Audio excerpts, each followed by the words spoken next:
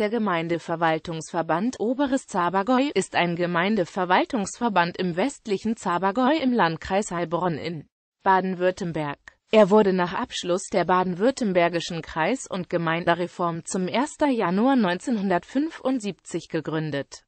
Mitglieder des Verbandes sind die Stadt Göcklingen und die Zaber aufwärts gelegenen Gemeinden Pfaffenhofen und Zaberfeld. Der Sitz des Verbandes ist Göcklingen. Der Gemeindeverwaltungsverband übernimmt für die Mitgliedsgemeinden zahlreiche Aufgaben.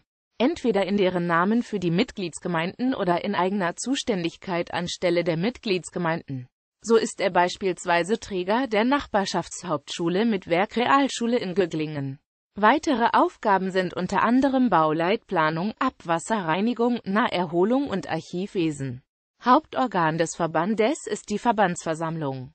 Die drei Mitgliedsgemeinden entsenden ihre Bürgermeister in die Versammlung sowie je angefangene 1000 Einwohner einen weiteren Vertreter, so dass die Versammlung derzeit insgesamt 17 Mitglieder hat, neben den drei Bürgermeistern 14 weitere Mitglieder, die von den jeweiligen Gemeinderäten aus ihrer Mitte gewählt werden. Weiteres Organ des Gemeindeverwaltungsverbandes ist der Verbandsvorsitzende, derzeit der Göcklinger Bürgermeister Klaus Dieterich